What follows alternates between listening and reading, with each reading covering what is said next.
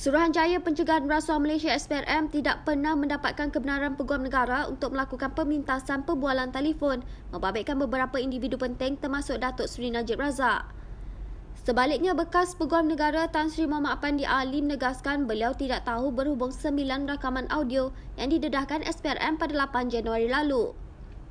Apandi yang menjadi peguam negara pada 2015 hingga 2018 berkata SPRM ketika itu tidak mendapatkan kebenarannya untuk melakukan sebarang pemintasan rakaman telefon membabitkan pendedahan kes One Malaysia Development Berhad 1MDB dan skandal SRC International Sendian Berhad. Ketika ditanya Peguam Tan Sri Muhammad Syafiq Abdullah berhubung syarat sebelum sebarang pemintasan sah dilakukan, Muhammad Apandi menjawab perlu mendapat kebenaran daripada Peguam Negara.